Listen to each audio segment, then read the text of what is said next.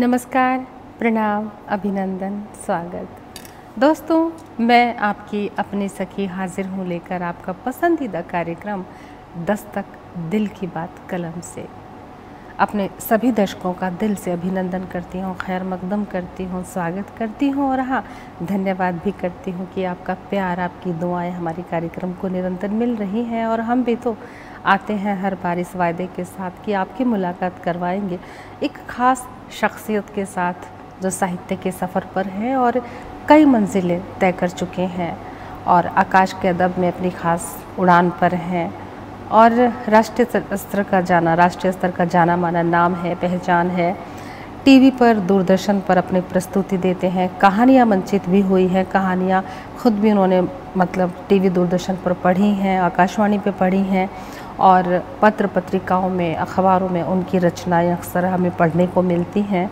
और उनकी बहुत सी ऐसी कहानियाँ हैं जो चर्चा का विषय हैं। कुछ कहानियाँ ही इनकी पुरस्कृत हुई है। साथ ही आज हमारे ऐसे साहित्यकार हमारे साथ मेहमान हैं जो आ, मतलब मैं ये कहूँगी कि साहित्य जगत का जाना माना नाम है। कोई भी संस्था हो कोई भी साहित्यिक गतिविधि हो कार्यक्रम हो हर जगह उनकी शिरकत रहती है, मौजूदगी रहती है। अक्सर वो हमारे कार्यक्रम के मुख्य भूमिका में होते हैं और बहुत सी संस्थाओं के सदस्य हैं, कहीं संस्थापक सदस्य हैं। और मैं ये भी कहना चाहूँगी कि बैंक से रिटायर्ड हैं, मैं चीफ मैनेजर की पोस्ट से रिटायर हैं और उनकी ख़ास बात ये है कि समाज में इतना अनोखा काम कर रहे हैं कि अपने आप में एक मिसाल हैं। अब अनोखा काम क्या कर रहे हैं, वो तो हम आपको बातों बातों में उन्हीं के मुखार बिंद से कहलवाएँगे। किस तरह से वो स्पेशल चाइल्ड बच्चों की सेवा कर रहे हैं, किस तरह से अपनी सेवाएँ दे रहे हैं, क्या मुश्किलें उनको आती हैं अक्सर, और कितना, कहते हैं ना, मंदिरों में, मस्जिदों में, गुरुद्वारों में लोग दान पुण्य करते हैं, माथा टेकते हैं, अरदास मांगते हैं। लेकिन वो एक ऐसी अरदास है जो स्पेशल चाइल्ड्स के लिए करते हैं, उनकी केयर करके। और सामाजिक सेवा से बढ़कर कोई अरदास नहीं, क्योंकि हम अरदास मांगते हैं मंदिरों में अपने लिए। लेकिन जब हम स्पेशल चाइल्ड जो बच्चे होते हैं, उनकी केयर करके हम उन्हीं के लिए दुआ मांगते हैं। ऐसी शख्सियत हमारे साथ है। जी हाँ मैं बात कर रही हूँ नरेंद्र निर्मोही जी की। नरेंद्र जी आप हमारे स्टूडियो में आए जस्ट टीवी पे आपने दस्तक दी और हमारा निमंत्रण स्वीकार किया। इसके लिए मैं आपका दिल से धन्यवाद करती हूँ। उर्मिल जी मैं आपका जस्ट टीवी और उनके दर्शकों का हार्दिक अभिनंदन करता हूँ कि जिन्होंने मुझे आपसे रूबरू होने का एक अवसर प्रदान किया है। मैं स्वयं को कृतार्थ समझता हूँ। जी। हम भी धन्य हैं और आप जैसे शख्सियत हमारे साथ है। बहुत कुछ आज आपसे समझने को मिलेगा, जानने को मिलेगा, जो हमारी ज़िंदगी में भी काफ़ी कारगर सिद्ध होगा। इस उम्मीद के साथ अपनी बातों का सिलसिला शुरू करते हैं और जैसे कि आप राइटर हैं, कहानीकार हैं, आप सभी विधाओं में लिखते हैं, आप उपन्यास, आप कहानी लिखते हैं, आप गीत लिखते हैं, रचनाएँ, समीक्षाएँ, आलेख, निबंध अक्सर आपके पत्र पत्रिकाओं में हमें पढ़ने को मिलते हैं। आपकी बहुत सी कहानियाँ प्रकाशित हैं, सम्मानित हैं अवॉर्डेड हैं। तो आपके बारे में आज बहुत कुछ जानेंगे। ना सिर्फ़ साहित्य आपकी निजी ज़िंदगी को भी आज हम पूरा खंगालेंगे। आप तैयार हैं? बिल्कुल बिल्कुल। जी। तो शुरुआत करते हैं कि हम कहानी से ही शुरुआत करते हैं कि आप कहानीकार के तौर पे बतौर स्थापित हैं। हालाँकि कविताएँ बहुत लिखते हैं निबंध लेख आलेख सब आपकी चर्चित रहते हैं लेकिन कहानियाँ आपकी बहुत पुरस्कृत होती हैं और थोड़ा कहानियों पर थोड़ा बात करते हैं कि आपने कहानी के प्रति अपना जो रुझान है कब महसूस किया कि आपने जाना कि मैं कहानीकार बनूं? या कब किसकी कहानियों से मुतासर हुए आप? इस बारे में शुरुआत जैसे हर हम्म। जो मैं नहीं दस बारह साल से ही कुछ लिखने के प्रति मैं लेखक को ऐसा मानता था कि वो इस दुनिया का प्राणी नहीं है। अच्छा। तो बच, बचपन था। अच्छा तो आप कितने साल के थे? ये मैं तब आठवीं नवीं में पढ़ रहा था। अच्छा। तो मुझे लेखकों के बारे में मतलब मैं सोचता था वो इस जगत के लोग नहीं आठवीं नौवीं का मतलब चौदह पंद्रह साल के हाँ लगभग। हम्म। ये चौंसठ पैंसठ की बात है तेरह चौदह साल की उम्र थी। जी। तो तब मुझे लेखों से प्रेरित मैं बहुत होता था। हम्म। और महादेवी वर्मा की कहानी पढ़ी तो मतलब कुछ ऐसी कहानियाँ पढ़ी। सिलेबस में होती थी। है? हाँ सिलेबस में होती हम्म। थी। तब तो सिलेबस ही होती थी ज़्यादा तो हमें जानकारी नहीं थी उस उम्र में तो। पर उसमें एक बार हमसे पूछा कि आप क्या बनना चाहते हैं? तो हमारे एक अध्यापक थे तो उन्होंने कहा कि आप लिखिए आप पाँच चीज़ें लिखिए कि पहले नंबर पे आप किसको रखते हैं कि क्या बनना चाहते हैं जीवन में। तो उन्होंने एक मतलब हमें उड़ान सी दी जैसे कि उन्होंने कहा कि आप क्या बनना चाहते हैं। तो किसी ने डॉक्टर लिखा किसी ने इंजीनियर बहुत कुछ लिखा। तो मैंने सबसे पहले लिखा लेखक। अच्छा। तो उसके बाद मैंने बाकी क्रम में जो उस वक्त अच्छा लगा होगा मैंने कहा कि सैनिक जीवन मुझे बहुत अच्छा लगता था। बोलने मैं कि बनूँगा तो देश का सिपाही बनूं दूसरा अगर लेखक हो सैनिक बनूं। और उसके बाद मतलब कहीं भी व्यवसाय की कहीं ध्यान नहीं था।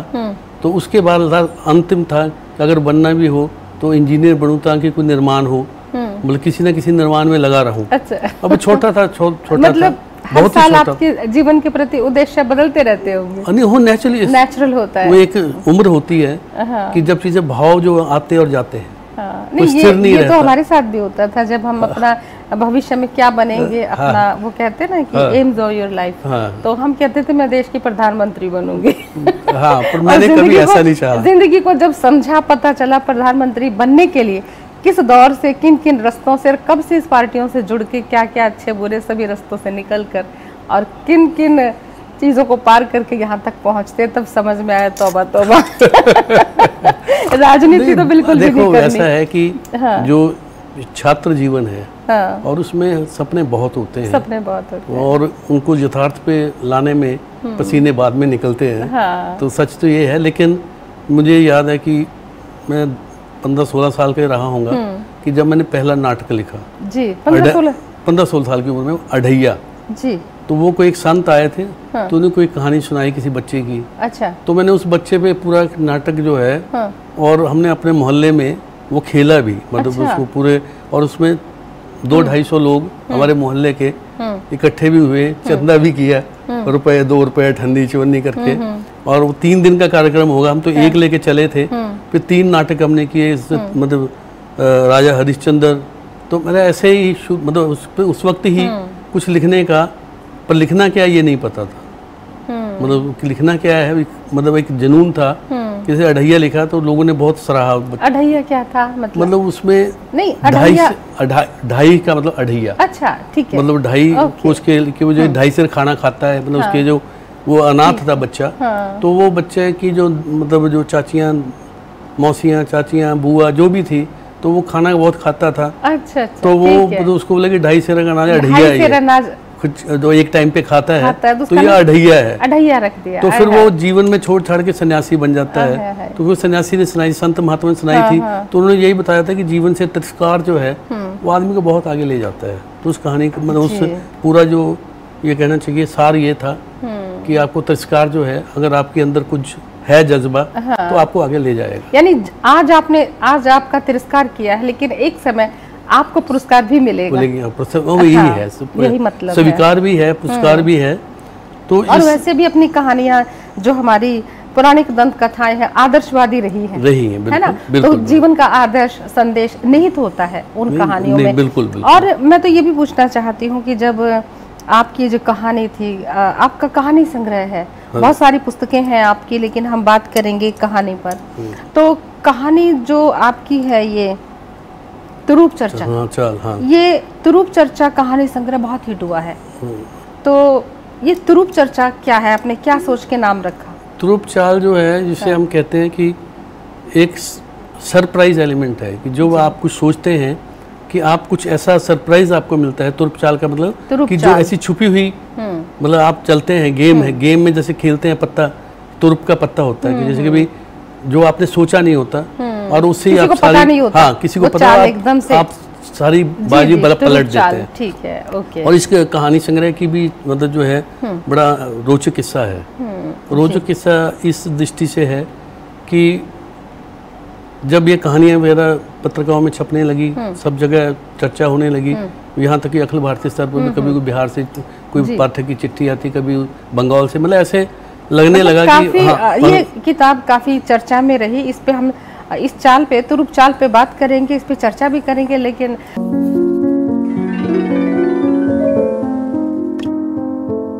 आप ये भी जानते हैं कि हर बार हर मुलाकात में, दस्तक में आपकी मुलाकात होती है एक खास प्रेरणा से। जी हाँ जो हमारे लिए प्रेरणा होते हैं, कभी कैंसर से खुद ही स्वयं को मुक्ति देते हैं, समाज सेवा करते हैं अलग अलग किरदार हमारे कार्यक्रम में आते हैं जो हम सब के लिए प्रेरणा बनते हैं। और आज इस कड़ी में नरेंद्र निर्मोही जी हमारे साथ हैं और कर रहे हैं उनसे बात। नरेंद्र जी, आप एक बात और बताइए कि जैसे आपकी एक खासियत है, कहानी पर हम बात कर रहे थे तो मैं उस खासियत पे भी बात करूँगी क्योंकि वो बात अगर हम समाज तक नहीं पहुँचाएँगे तो आपका यहाँ तक आना विफल हो जाएगा क्योंकि एक ख़ास शख्सियत हैं आप समाज के लिए। आप जो स्पेशल चाइल्ड्स हैं, उस सेंटर में भी आप पूरा संभाल रहे हैं, उनकी केयर करते हैं और सारा उन बच्चों को भोजन देते हैं एजुकेशन मेडिकल हेल्थ वगैरह सारा प्रोवाइड करवाते हैं। तो इसके बारे में थोड़ी दृष्टि डालिए। यह ख्याल आपको कब आया? क्या वजह थी आपने स्पेशल चाइल्ड केयर सेंटर में आपने काम किया, संस्था को बनाया और अपनी आत्मा से उसमें जुड़े हुए हैं, तन से, मन से, धन से? तन, मन से आप पूरी तरह से उसमें अपने आप को समर्पित किया हुआ है। बच्चों को कैसे संभालते हैं? किस तरह के बच्चे आते हैं? तो कैसे संभालते हैं आप? उर्मल जी, ये है कि जब तक कि एक निराला जी की पंक्तियाँ हैं। हम्म। व्यथा ही जीवन की कथा रही। व्यथा ही जीवन, जीवन की की कथा रही।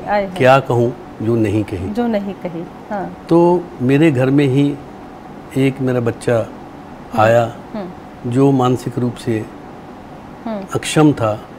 और ये हमें बहुत देर तीन चार महीने तक तो हम उम्मीद में रहे। साल तक भी उम्मीद में रहे कि शायद इसको उस उपचार से ठीक हो जाएगा चिकित्सा से ठीक हो जाएगा। हम्म, हम ऑल इंडिया एम्स में भी गए हम्म, और वहाँ के डॉक्टरों के मेडिकल बोर्ड ने हमें ये कहा कि निर्मोही जी हम इस बारे में इस में हमको आपकी कोई सहयोग नहीं कर सकते।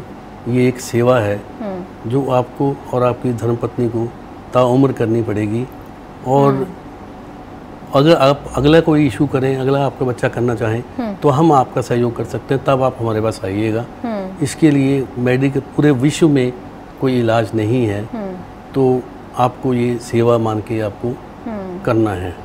और स्पेशल चाइल्ड था तो बच्चे में क्या प्रॉब्लम थी? तो वो उनका जो उनका डॉक्टरों का कहना था कि इनका गर्भधारण के वक्त जो है इनका मस्तिष्क पूर्णतः विकसित नहीं हो पाया। समय से पहले जुड़ गया।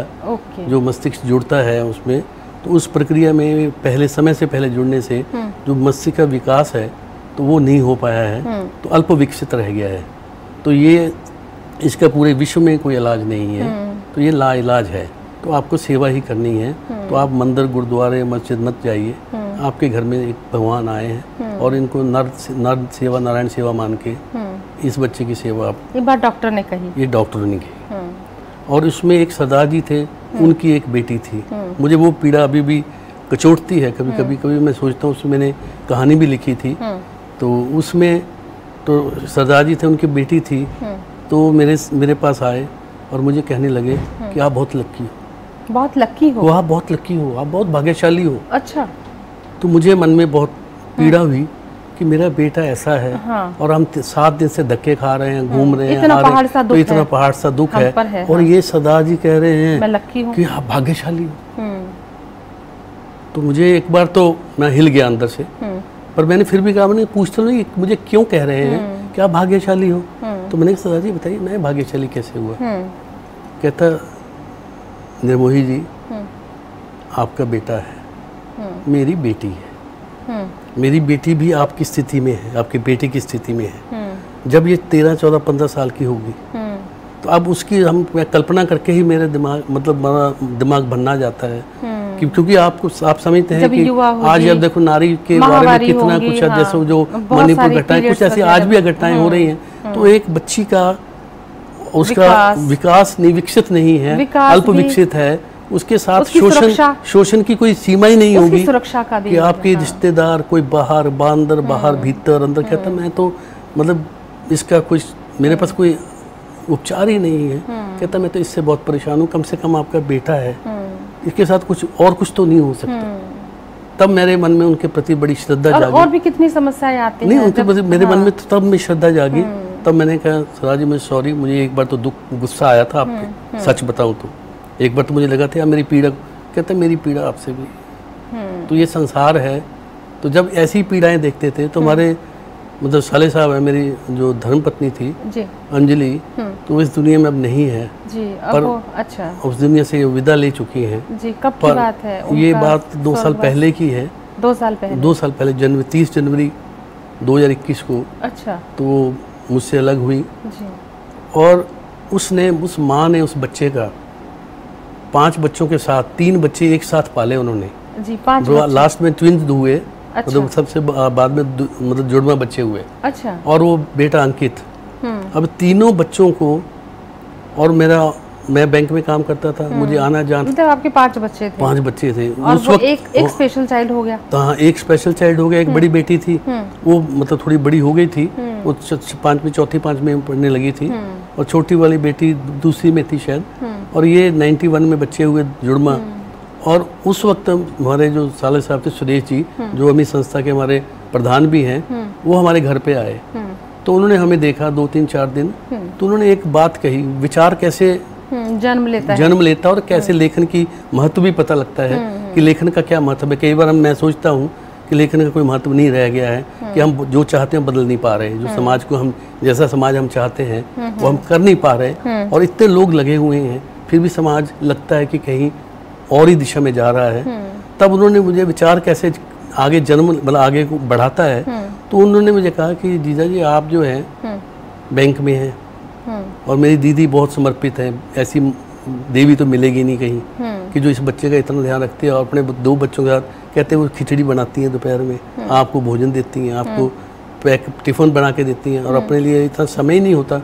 कि खाना बना सके तो खिचड़ी बना के रख लेती हैं तो खिचड़ी कभी वो भी तीन बच्चों के साथ बिठा के खिलाना करना कहते कि इनकी सेवा का तो कोई ऐसी तो मदर टेरेसा भी नहीं होगी कहते उन्होंने ऐसा कहा कि भाई इस तरह की सेवा तो उन्होंने भी की होगी मदर टेरेसा ने किसने भी की हो। पर मैं कहता हूँ एक तीन चार दिन से देख रहा हूँ इनकी दिनचर्या और आपकी दिनचर्या तो आप आर्थिक रूप से संपन्न हैं। और ये मत पूरी माँ का जो ममत्व है इस बच्चे को दे रही है। पर ऐसे कितने बच्चे हैं? हम्म। कि जिनके माँ बाप ना तो उतने संपन्न हैं वो मजदूरी दिहाड़ी करते हैं और वो आते हैं वो देख नहीं पाते। तो इन बच्चों का क्या होगा? कितने बच्चे होंगे ऐसे? हम्म। तो ये विचार था। तो मैंने एक ही बात कही मैंने कि अभी तो मुझे मेरे पास अपने बच्चों का दायित्व है और जब मैं इन दायित्व से मुक्त हो जाऊँगा तो मैं दुनिया में और कोई काम सब छोड़ के मैं इन बच्चों के लिए कुछ करूँगा। तो ये बात है 2093 की बात है। हम्म। तिरानवे की बात है या तिरानवे या चौरानवे हो सकता है। हम्म। उसकी बात है। और ये विचार चलता चलता चलता चलता 2006 में उन्होंने एक संस्था बनाई human rights protection cell and welfare association हम्म। तो उसका पहला ध्येय यही था कि अगर हम कोई पहला काम करेंगे तो हम विशेष बच्चों के लिए करेंगे। तो 2010 में केवल एक लाख बीस हज़ार रुपये थे। हम्म। उससे हमने इन बच्चों के लिए हम्म। स्कूल बनाने की सोची। और उस स्कूल बनाने के लिए शुरुआत की हम्म। तो उसके बाद मतलब इतने दानवीर लोग आए इतने लोगों ने साथ दिया हम्म। कि वो आज तक निर्माण जारी है हम्म। और कभी कोई कमी नहीं आई। और उन बच्चों के लिए हमने 2010 से मई 2010 में हम्म। देहला गाँव है जिला उन्ना हिमाचल प्रदेश हाँ, में। हाँ। और उस गाँव में इन बच्चों को पंचायत ने हम्म। ज़मीन दी हम्म। पंचायत ने ज़मीन डोनेट की हम्म। और इस पे जो हमने आश्रय बनाया। हम्म। पहले सत्रह बच्चे उस संस्थान का नाम आश्रय है। उसके बच्चों के लिए आश्रय स्कूल है इसका विशेष स्कूल है। और नरेंद्र जी इस पर विस्तार से भी करेंगे बात और अभी आपकी कविताएँ भी सुननी बाकी हैं। लेकिन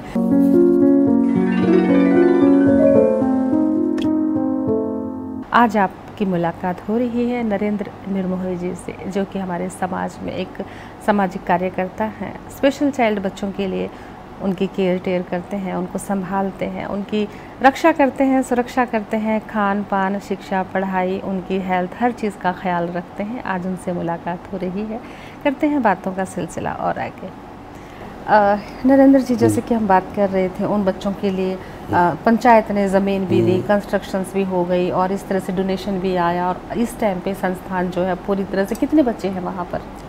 जब हमने शुरू किया था तब सत्रह बच्चे थे। सत्रह बच्चे थे जब आपने शुरू किया। हाँ तो हमारे पास लाने ले जाने के लिए कोई वाहन नहीं था। जी। बच्चों को गाँव से लाना और छोड़ने के लिए हाँ। तब उसी गाँव का एक स्कूल थे। जी। तो उनके जो मालिक थे हाँ। उन्होंने अपनी गाड़ी दी कि जब तक आपकी गाड़ी नहीं होती हाँ। है तो मतलब ये सहयोग हमारा ही नहीं है और लोगों का भी है। मतलब समाज का भी हाँ, पूरा समाज में वो कहते हैं ना मतलब कि हाँ। एक एक बंदा मशाल उठाता है तो काफिला उसके साथ समाज के लोगों की बता रहा हूँ कि समाज के लोग भी कितने मतलब वो हैं कि वो चाहते हैं हैं। सेवा होती रहे।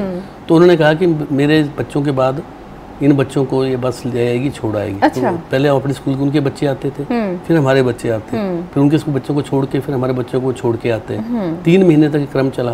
फिर हमने एक ऋण पे बैंक लोन बैंक ऋण लिया उससे फिर सबसे पहले इको गाड़ी जो है तो उसमें हम बच्चों को लाने लगे। और आज जो है आज की स्थिति ये है कि आज हमारे पास 83 बच्चे हैं 83 और बच्चे 26 ताईस गाँव से आते हैं वो। जी। और तीन वाहन जो हैं हमारे उनको लेने जाते हैं छोड़ने जाते हैं।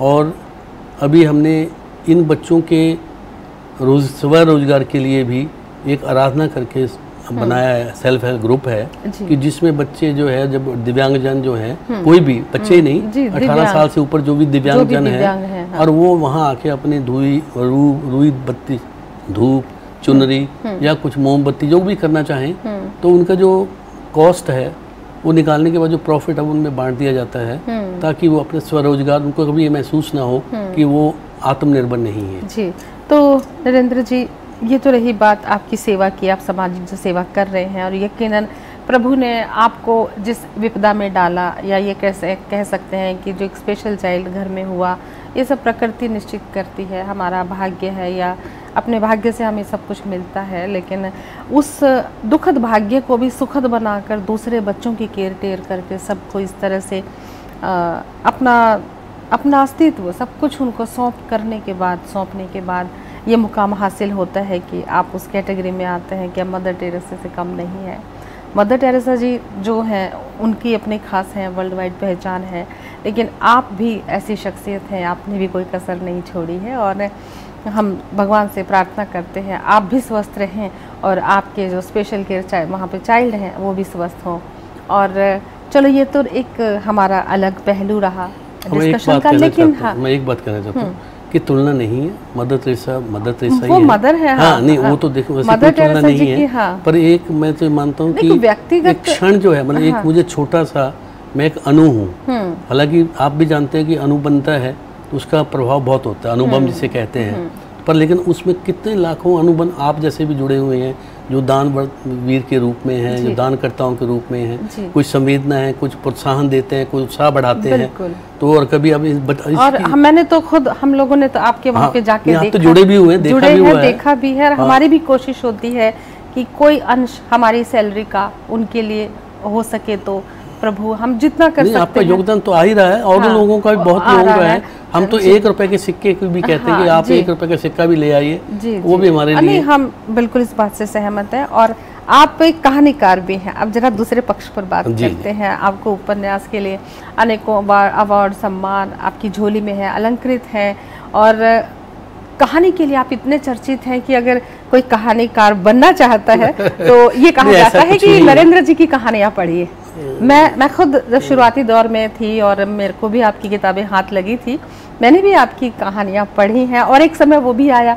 कि जब मेरे उपन्यास आए तो आपने उनकी भी समीक्षा करी आप मेरे पाठक और समीक्षक भी रहे। ये मेरा तो- सौभाग्य रहा जी कि तो- मुझे आपने ये मौका दिया। जी। और आपने भी वो मतलब सैल्यूट जो है जी। उपन्यास था उपन्यासिका कह सकता हूँ क्योंकि उपन्यास थोड़ा उससे आगे ही जाएगा जी। और आगे आप आगे भी बढ़ेंगे भी। जी। तो उसमें भी आपने बड़े संवेदनशील पक्ष को उठाया था। कहते ना साहित्यकार हाँ, संवेदना हाँ, से भरपूर होता है और वो कहानी कौन सी थी जिस पर चर्चा हुई थी? बहुत खास एक कहानी थी आपकी। हाँ बुखारी कहानी बुखारी थी। बुखारी कहानी हाँ। तो इसका भी एक रोचक किस्सा ये था कि ये सैनिक जीवन की दुश्वारियों पर एक कहानी है। अच्छा। तो उसमें कैसे रेजिमेंटेशन होता है कि कैसे आदेश जो है वो चलते हैं उनका कितना प्रभाव गलत भी होता है कभी कभी तो उसी पे निर्भर थी और मैंने कई पत्रिकाओं को प्रतिष्ठित पत्रिकाओं को भेजी तो लौट आती थी। अच्छा। तो जब लौट आती थी तो मेरे घर वाले कहते थे आपकी कहानियाँ भी लौटती हैं। अच्छा। मैं क्या वो लेखक कौन हुआ? इसकी कहानी ना लौटे कविता ना लौटे। हाँ। अब लौटेगी तो उसको और कोशिश करें भाई। मैं कहा कोई बात नहीं। तो हमारे रमेश बत्रे जो आज दुनिया में नहीं है वो भी बड़े अच्छे कहानीकार मतलब पूरे मतलब प्रतिष्ठित कहानीकार हैं और वो सारिका के उप संपादक भी रहे। तो उन्होंने मुझे कहा कि आप सर्वभाषा कहानी प्रतियोगिता में सारिका में भेजिए इसको। तो बोले कि वहाँ कोई बंदिश नहीं होगी। और उनकी बात सच निकली। और उस प्रतियोगिता में एक कहानी पुरस्कृत हुई। और मनु भंडारी ने इस पर अलग से एक पैराग्राफ लिखा इस कहानी को लेकर ही। तो उसके बाद भी ग्राम्य जीवन की कहानियाँ जो भी संकल्प निकले। और महेश दर्पण ने एक निकाला हिंदी कहानी कोश जिसमें सन उन्नीस से लेकर उन्नीस सौ पचासी तक के प्रतिष्ठित लेखकों कहानियाँ छापी गई थी।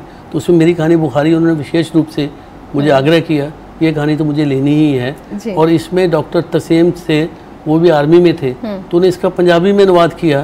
और वो बड़ौदा में मुझसे उन्हें मिलने बुलाया मैं उनसे मिला भी। वो इतने प्रभावित थे इस कहानी से।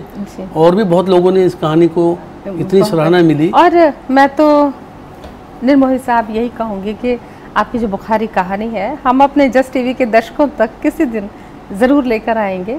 उसका तो ये मेरा सौभाग्य होगा कि। बहुत पहले छपी है हम्म। और काफ़ी दूर इसका अंग्रेज़ी अनुवाद भी हुआ है। मतलब इसमें हाँ, अंग्रेज़ी अनुवाद भी कहानियाँ कन्नड़ में भी हम्म। अनुवादित हुई हैं अनुदित हम्म। हुई हैं पंजाबी में भी हुई। तो जहाँ लौट के हाँ, वापस आती थी उसके बाद हाँ, तो नहीं फिर मुझे आदत से भी है कि कुछ हर कुछ चीज़ को किसी को कुछ चीज़ जौहरी जो है हर कोई हीरे की पहचान नहीं कर सकता। जी और निर्मोही जी मैं एक आपको छोटा सा इस हाँ। इसी बात से ताल्लुक रखता हुआ कि, किस्सा सुनाती हूँ। मैंने एक बार इंटरव्यू किया था हाँ, तो हाँ। जिन शख्सियत का तो वो कहते कि मैं कविताएँ लिखती थी वापस आ जाती थी मैं रख लेती थी वापस आ जाती रख लेती थी मेरी खूब सारे एक लिफाफा भर गया। मेरी रचनाएँ वापस आ जाती थी और मेरे पति मतलब उनको बताती थी कि भाई ये प्रकाशित नहीं हुई उन्होंने इस काबिल नहीं समझा। उसके बाद वो लिखती वापस आ जाती। काफ़ी सारी वापस आ गई। फिर उनके पति ने कहा एक दिन इसी बैग से वापस जाएँगी और तुम्हारी डिमांड पर लोगों की डिमांड पर फिर से छपेंगी। और उनके हस्बैंड की जब डेथ हो गई उसके बाद क्या वो उन्होंने बड़ी गमगीन माहौल में कोई गज़ल लिखी और वो प्रकाशित हुई। और उस मैगजीन के संपादक ने कहा कि अपनी पुस्तकें अपनी जो कविताएँ हैं गज़लें हैं निरंतर भेजते रहे और उनको पाँच सौ रुपया भी एक रचना का मिलता था। तो जितनी वापस आई थी पूरा कट्टा भर गया था। वो वन बाय वन जिस तरह से वापस आया था उसी तरह से वन बाय वापस छपने के लिए भी गया। वाह। तो ऐसे भी हमारे पास किस्से हैं कि निराशा निराशा तो राइटर हो ही नहीं सकता निराश हो ही नहीं सकता सही हो ही नहीं लेखक ही नहीं लेखक के स्वभाव में निराश होना नहीं है अगर वो राइटर है तो। नहीं अगर वो धारा के विरुद्ध नहीं चाहता है हाँ। तो वो लेखक है नहीं। जी। मतलब कभी भी लेखक तभी बनता है हाँ। कि जब उसको तिरस्कार मिले। तिरस्कार मिले। तो मतलब धक्के भी मिलने चाहिए हाँ, हाँ। पुरस्कार भी मिले प्रोत्साहन भी मिले धक्के भी मिले हम्म। क्योंकि ये जीवन के हिस्से हैं। सही बात है। कभी तो हाँ, मुझे वो किस्सा इसलिए याद आ गया कि आपने कहा कि रचनाएँ वापस आ जाती थी। हाँ, और देखिए ना जब वापस गई तो कई भाषाओं में अनुवादित होकर गई। नहीं नहीं इसका कहानी संग्रह का भी रोचक बहुत रोचक किस्सा है हाँ। कि इसको जब ये कहानियाँ वगैरह छपी तो सबने कहा भी आप कहानी मतलब पुस्तक में छपवाओ हम्म। पुस्तक ग्रुप बनाओ आप कहानी संग्रह छपवाओ हम्म। तो मैंने कोशिश की तो एक प्रकाशक ने हम्म। मुझे प्रस्ताव भेजा कि हम इस पुस्तक को छापेंगे और पचास प्रतियाँ आपको देंगे और आपको मानदेय कोई नहीं देंगे अच्छा रॉयल्टी जो है चलो वो तो रॉयल्टी जो हाँ, नहीं तो मैंने फिर हाँ। उस वक्त मेरे मन में एक बात थी हाँ। कि ये लिख हम इतने लोगों के अधिकार की बात करते हैं हाँ। तो जब हमारा अधिकार आता है हम्म। तो हम खड़े नहीं होते सही बात तो मैंने चिट्ठी वापस लौटा दी हाँ। कि मुझे ये शर्त मंजूर नहीं है हाँ। कि अगर मुझे आप एक रुपया भी टोकन देते हम्म। तो लेकिन रॉयल्टी देते हम्म। तो मेरे एक लेखक का सम्मान होता तो मैं अब इसको मैं नहीं हम्म। चुप होना चाहता। हम्म। बात आई गई होगी। हम्म। उसके दो साल बाद एक मित्र है हमारे। मित्रों ने मेरे जीवन में बहुत कुछ किया है। मेरे मित्रों का मैं योगदान भुला नहीं सकता हूँ और अपनी धर्मपत्नी के और मित्रों को। ये जीवन में ऐसे मरहले रहे हैं कि जिन्होंने मुझे बहुत आगे तक ले गए वो। तो मेरे दोस्त थे नरेंद्र निर्मल जी। वो आए एक दिन। हाँ। कहते यार आप कहानियाँ निकालो फटाफट निकालो सारी कहानियाँ निकालो। मैंने कहा क्या हुआ? कहते वो एक ना state bank of Bikaner Jaipur की एक योजना है। तो उसमें आपको पुरस्कार भी मिलेगा हम्म। और सात सौ प्रतियाँ भी लेंगे वो हम्म। तो आपका सब कुछ भी निकल जाएगा और आपकी किताब भी छप जाएगी हम्म। और आपकी रॉयल्टी तो इतनी बढ़िया मिल रही मिल जाएगी। मैंने कहा अभी तो चुनाव थोड़ा हो गया कुछ चैन अच्छा। नहीं हुआ कुछ नहीं हुआ। कहता आप करो तो सही। हाँ। और वो देखिए मेरे पास कोई फ़ोटो स्टेट कॉपी थी कोई साइज़ नहीं था कोई किसी किताब से निकाली किसी साइज़ हाँ। मतलब मैं कहता हूँ इतनी बेतरतीब थी वो। वो एक फ़ाइल बनाई उन्होंने बनाई बैठ के दो तीन घंटे। और उन्होंने नरेंद्र नेवली ने फ़ाइल बुला के खुद जाके पोस्ट ऑफ़िस पोस्ट करा है तो ये तो बहुत सौभाग्य की बात है कि आप कितने अच्छे मित्र हैं और जीवन संगी तो भगवान है।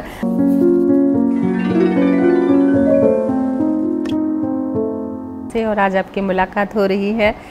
नरेंद्र निर्मोही जी से बहुत कुछ जाना आपने उनके जीवन के बारे में, उनकी किताबों के बारे में, कहानियों के बारे में, किस तरह से प्रकाशित हुई, किन दोस्तों ने छपवाई, किन्होंने सुझाव दिए, आश्रय खोलने के लिए जिनने सुझाव दिए, उसके बाद उनकी यात्रा, विकास, सफलताएँ, मंजिलें सब आपसे रूबरू हुई। अब जरा एक पक्ष और है नरेंद्र निर्मोही जी का, कवि का। कविता पर भी करते हैं बात। तो हम चाहते हैं कि कितनी सारी किताबें हैं, पुस्तकें हैं, बहुत कुछ है सुनने को, लेकिन शुरुआत करते हैं कविता से जो आपके दिल के बेहद करीब है। हाँ देखिए कोई भी। लेखक जो है अपनी शुरुआत कविता से करता है। हाँ जी। और जब मैंने शुरुआत कविता से की हम्म। तो मेरी उम्र बहुत छोटी थी। छोटी इस तरह से कह सकते हैं हम्म। कि कल्पनाओं के घोड़े थे। जी वो तो होता तो यथार्थ से बहुत दूर थे। निर्मोही साहब बातें हमने बहुत की है। कविताओं से हम वंचित हो हाँ, जाएँगे। मैं चाहती हूँ कविता पे ही हाँ, बात तो मैं इसी के बारे में ना हाँ, कुछ अलग अलग शेड्स पे आप कुछ कविताएँ हाँ, सुनाऊँगा। स्वागत है। तो ये कविता एक नुक्कड़ नाटक करने की सोच रहे थे। जी। तो एक नुक्कड़ नाटक को ध्यान में रखते हुए मैंने एक कविता हम्म, हम्म, लिखी थी। तो वह है अल्लाह रखा हम्म। अल्लाह रखा पीच कचहरी नंगे पाँव फटे हाल परेशान खड़ा है। अल्लाह रखा पीच कचहरी नंगे पाँव फटे हाल परेशान खड़ा है नहीं कोई उसका संगी साथी है विपदा भारी। नहीं कोई उसका संगी साथी है, विपदा भारी। हम्म। बीस बरस पहले हम्म। लड़की अपनी की शादी पर एक नरेल उधार लिया था मंगू शाह से इस शर्त पर। हम्म। बीस वर्ष पहले लड़की अपनी की शादी पर एक नरेल उधार लिया था इस शर्त पर कि दूँगा बीस शेर दाने आती फ़सल पर। दूँगा बीस शेर दाने आती फ़सल पर पर कसम खुदा की रखे रोज़े पड़ी नमाजें फिर भी किस्मत फूट गई थी। हम्म। धरती अम्मा रूठ गई थी हुए बीस के चालीस हम्म। चालीस के अस्सी अस्सी के दो सौ अस्सी। हम्म। चालीस के अस्सी चालीस के अस्सी वह अनपढ़ क्या जानता था? शाह के दिल में पाप था। हुआ बीस का हज़ार था। हुआ बीस का हज़ार था। अब शाह ने पंचायत बुलाई अपनी नेक नीति की दी दवाई कहा अल्लाह रखा ने साफ़ साफ़। कहा अल्लाह रखा ने साफ़ साफ़। हजूर पड़े उसके बदन में कीड़े उसके बच्चे भूख से मरे जो वह झूठ बोले हम्म। शाह से ना लिया था कभी नगद उधार। हम्म। सिवा एक नरेल के हम्म। और जिसके बदले में अठारह बरस से देता रहा है रंबे दरातियाँ और पंजालियाँ और की होंगी बेगार की सौ दिहाड़ियाँ। और की होंगी बेगार की सौ दिहाड़ियाँ सबूत। पंचायत ने जिरह की। सबूत पंचायत ने जिरह की उठा माधो धोबी। हजूर समृद्ध को नहीं दोष के साई पन अल रखा पन अल्लाह रखा जो कहता है सच कहता है हम्म। शाह तम तम आया हम्म। चोर चोर मौसेरे भाई हम्म। माधो मेरा पुराना कर जाई है झूठी इसकी गवाही पंचायत ने किया इंसाफ पंचायत ने किया इंसाफ अल्लाह रखा तेरा आधा कर्ज माफ़ अल्लाह रखा तेरा आधा कर्ज माफ़ अल्लाह रखा ने अपने हाथ झाड़ दिए कपड़े तो थे नहीं बदन पर, जो वह झाड़ता। हजूर 500 की तोफीक होती। तो शाह से एक नेल उधार माँगता हम्म। हजूर 500 की तोफीक होती तो शाह से एक नरेल माँगता और यूँ बेइज्जत होता इनका, इनकारी पर शाह बुखलाया, भागा भागा कचहरी आया इनकारी पर शाह बुखलाया, भागा भागा कचहरी आया, अल्लाह रखा जहाँ तहाँ में, में आया हम्म। अल्लाह रखा जहाँ तहाँ में, में आया कोर्ट कचहरी के चक्कर तारीख पर तारीख पेशी दर पेशी हम्म। अर्जी नवीस पेशकार हल्फनामा और मेहनताना तिस पर गाँव से शहर आना। हम्म। तिस पर गाँव से शहर आना वकील और मुंशी का खर्चा। बेबस हुआ बेचारा अल्लाह रखा। बिकी जोकर बिकी झोंपड़ पट्टी और हुआ कर्ज हुई शाह की चांदी देख अल्लाह रखा का हश्र। और उन्हें जैसे तैसे किया सब्र, आधे भूखे नंगे रहकर भी। आधे अतूरे भुगतान किए आठ बरस बाद आज फैसला हुआ। आठ बरस बाद आज फैसला हुआ, अल्लाह रखा बेकसूर है आठ बरस बाद आज फैसला हुआ, अल्लाह रखा बेकसूर है अल्लाह रखा बीच कचहरी, नंगे पाँव फटे हाल और परेशान खड़ा सोच रहा है खड़ा सोच रहा है इस न्याय को लेकर जाए तो कहाँ हम्म। सोए तो कहाँ। हम्म। बहुत खूब। देखिए ना एक पूरी कहानी को कविता में समाहित कर देना बहुत बड़ा हुनर है। कितने कम समय में आप एक पूरी दास्तां एक पूरा उपन्यास समझ लेते हैं है ना? तो गागर में सागर को भरने वाला जो है ये रचना रही आपकी। और एक और रचना की आपसे अपील करते हैं। हाँ। कोई छोटी सी रचना? छोटी जी जी जी। जो आपके दिल के बेहद करीब हो या उन उन क्षणों में रची गई हो जब आप हाँ। बेटे के गम में थे या सेवा भाव में थे या पत्नी की याद में कुछ जो आपकी उन घड़ियों की साक्षी हैं जहाँ पर आप मैं एक थोड़े अपने जी। एक यौवन की है। अच्छा। क्योंकि वो भी एक एहसास जी, होता है। बस तो no मैंने उसका नाम ही एहसास दिया है। जी जी। एहसास तुम्हें भी है हम्म। खबर मुझे भी है। अच्छा। एहसास तुम्हें भी है हम्म। खबर मुझे भी है हम्म। कुछ ढूंढते हैं हम दोनों एक दूसरे में खामोश ही। खामोश? ही। खामोश ही ही। जी। एहसास तुम्हें भी है खबर मुझे भी है हम्म। कुछ ढूंढते हैं हम दोनों एक दूसरे में खामोश ही। न मैं कह पाऊँ न तुम कह पाओ किस तरह गुजारी हैं रातें तना तना सी। जाग जाग कर। किस तरह से गुजारी रही है रातें? तना तन्हा तना तन्हा सी जाग जाग कर। शब्द तो सिर्फ़ चार हैं। हम्म। शब्द तो सिर्फ़ चार हैं हम प्यार करते हैं। हम्म। शब्द तो सिर्फ़ चार हैं हम प्यार करते हैं पर अदरों पर नहीं आते कहीं अटक जाते हैं ख्याल भटक जाते हैं। यादें बनकर अतीत की न बनाओ घर अपना। यादें बनकर अतीत की न बनाओ घर अपना। या तो हो जाओ मेरी या फिर कह दो नहीं ये मुमकिन। या तो हो जाओ मेरी या कह दो नहीं ये मुमकिन। जान मेरी हम साथ हों या ना हों प्यार है प्यार था प्यार रहेगा। क्या बात है? बहुत खूब। तो ये जी। आपकी इस कविता से एक बात याद आ गई है कि प्यार को शब्द देने की ज़रूरत नहीं होती? श- कहते हैं कि शब्दों को अधरों पर धरकर मन का भेद न खोलो। शब्दों को अधरों पर धरकर मन का भेद न खोलो। मैं आँखों से सुन सकता हूँ तुम आँखों से बोलो। वाह वाह क्या तो बात। कई बार ऐसी स्थिति भी हो जाती है और देखिए आज आपने बहुत खूबसूरत कविताएँ भी सुनाई ज़िंदगी के बारे में भी बताया और इतनी व्यस्तता के बावजूद आपने वक्त निकाला हमारे साथ जुड़े हमारे दशकों से जुड़े और आश्रय को लेकर जीवन को लेकर अपने जीवन से जो जुड़े हुए अनुभव वो भी साझे किए।